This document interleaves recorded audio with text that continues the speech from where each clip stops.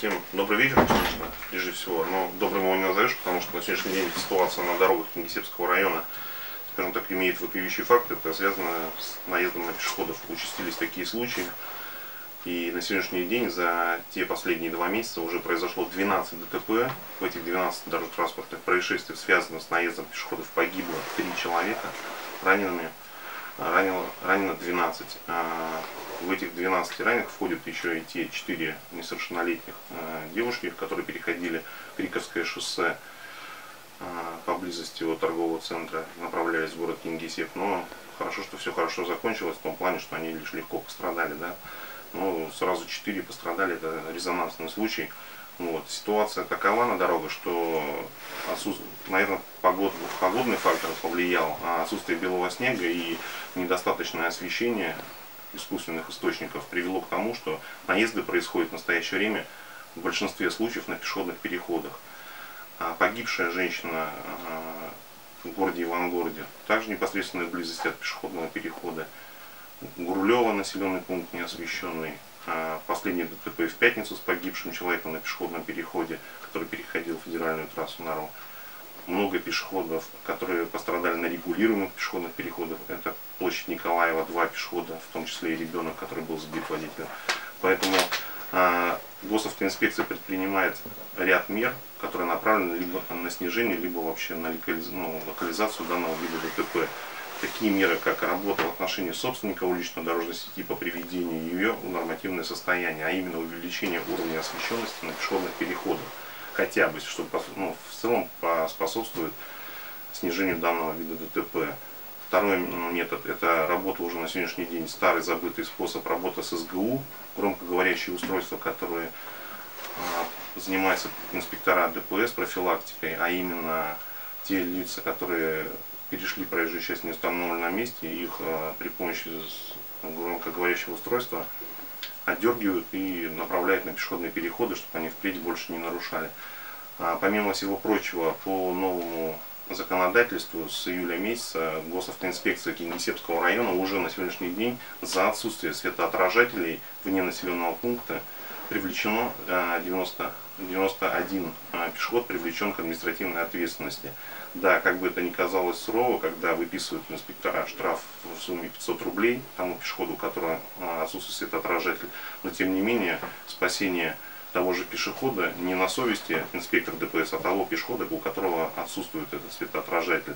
И вот как раз таки этому в большей степени сегодня посвящено мероприятие, когда мы попросили, скажем так, оказать помощь ряд организаций, чтобы посодействовать в этом вопросе, а именно приобрести и подарить пешеходам, у которых они отсутствуют светоотражитель на одежде в темное время суток, откликнулась одна, а, пока на сегодняшний день одна организация, две еще приобретают, но вот а, в большей степени хотели бы их поблагодарить, потому что немного сегодня встретишь взаимопонимания от э, коммерческих организаций, которым не безразлична судьба наших жителей и гостей города. Почему? Потому что это все, как правило, убирает, ну, упирается в недостаточность финансирования. Скажите, пожалуйста, вот как вы думаете, эта акция ГИБДД совместно с компанией ЛИК, это которую предоставили, нужна она вообще? Конечно, конечно. Нужна. Конечно, нужна. Пешеходный такое маленькое напутствие, посмотреть направо, посмотреть налево. Я на сегодняшний день представляю интересы логистической компании, которая занимается транспортными перевозками, пассажирскими перевозками на территории Кингисеппа и Кингисеппского района. Э, на сегодняшний день, как все, наверное, слышали э, из новостей и читали из газет, у нас э, участились случаи с пешеходным травматизмом. В частности, это наезды на пешеходов как в пешеходных зонах, так и вне пешеходных зонах.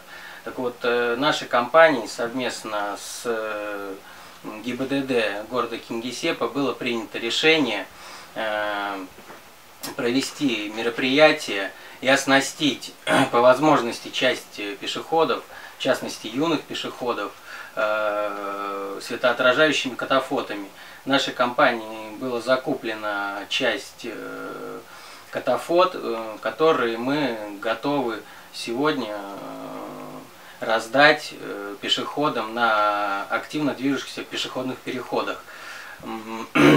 Я, как руководитель логистической компании, переживаю за безопасность пешеходов на территории Кингисеппского района, э, гостей э, нашего города.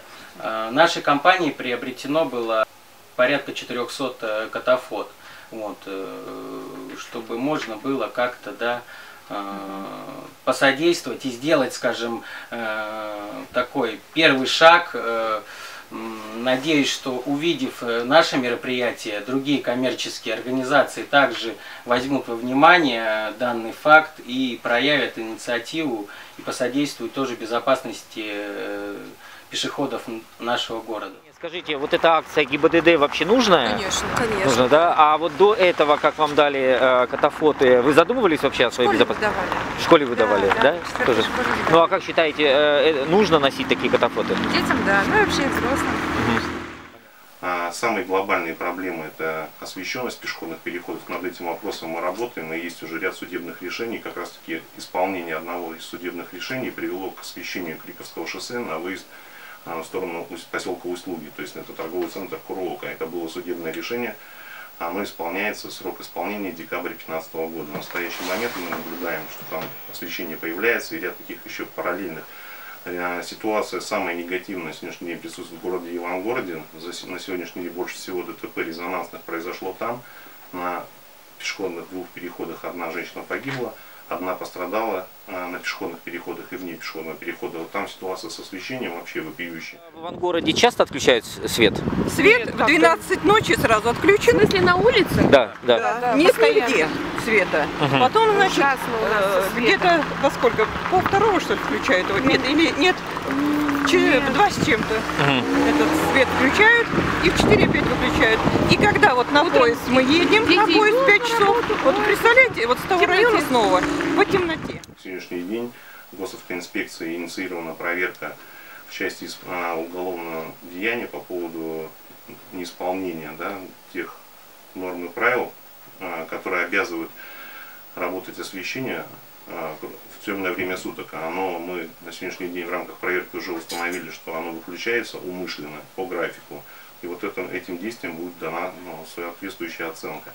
А те пешеходные переходы, которые на сегодняшний день не обустроены должным образом, там продолжают нести службу инспектора дорожной патрульной службы, контролируют а, соблюдение правил проезда пешеходных переходов, ну а также а, пешеходов, которые переходят на запрещающий сигнал светофора. Ну, вот, но сегодня мы возьмем во внимание город Ивангород и город Кингисепп именно в части а, профилактики. Если, скажем так, прежде всего а, те же пешеходы будут исполнять законодательство, а именно не нарушать правила дорожного движения, обращать внимание на то, в чем они одеты, цветовая гамма одежды и наличие светоотражательных элементов, и прежде всего пешеходов, чтобы они убедились в том, что их пропускают и переходили уже тогда проезжая часть. А, Я думаю, пешеходы не все понимают до конца и осознают, что остановить двух- или трехтонную машину за секунды, считанные секунды тяжелее, нежели начать э, переходить проезжую часть и не убедиться, что тебя пропускают. Поэтому жизнь пешеходов, ну, прежде всего, в руках самих пешеходов. Поэтому на этом мы сейчас и нацелены, и посмотрим, что в целом творится у нас на пешеходных переходах.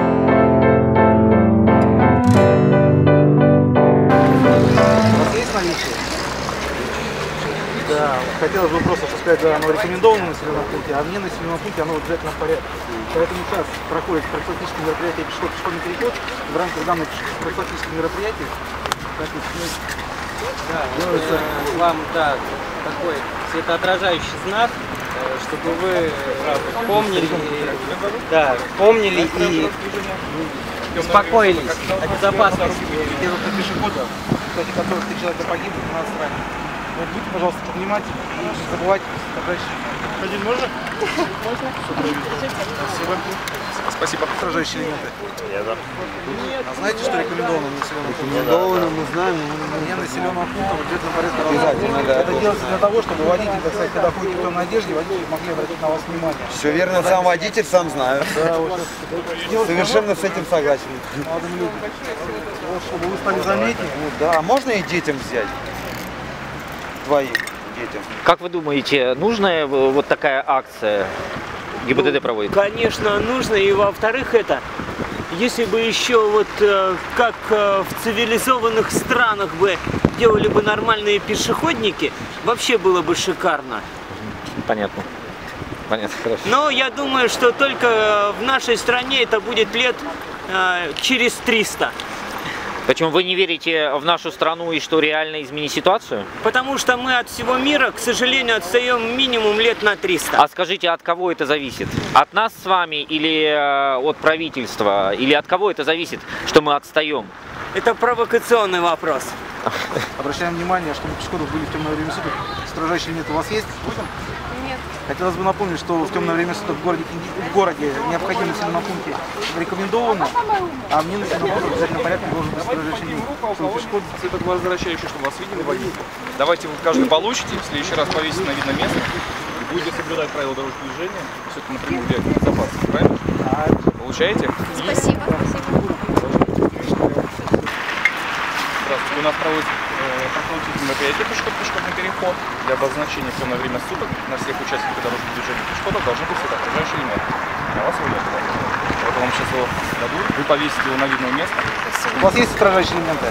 Нет, к сожалению. Такой Ну, а в населенном пункте э, рекомендовано, а мне населенный пункт не обязательно. Ну, в целях того, чтобы вы стали более заметны в пешеходном переходе, вам дарят отражающие элементы. Спасибо. Оденьте, пожалуйста, нацепите их куда-нибудь в доступное место. В темное время суток рекомендовано носить на себе элементы с светоотражающими предметами. Поэтому вам раз подарят, так как я вижу их нет, чтобы у вас были участники движения водителя, когда вы ходите по проезжей части переходите. Чтобы вы стали более заметны не только на пешеходных переходах, но и в целом на улице. Вам отражающие элементики. Носите их, одевайте, станьте более заметными. Вручить светоотражающие элементы, да, и порекомендовать в городе носить их в вечернее время суток постоянно, да, чтобы вы были заметнее. А вне населенных пунктов это не рекомендовано, а входит в обязательство, в- обязательно применению да, пешеходами. Да. Так что для вас, для вас и для вашего ребеночка возьмите, пожалуйста.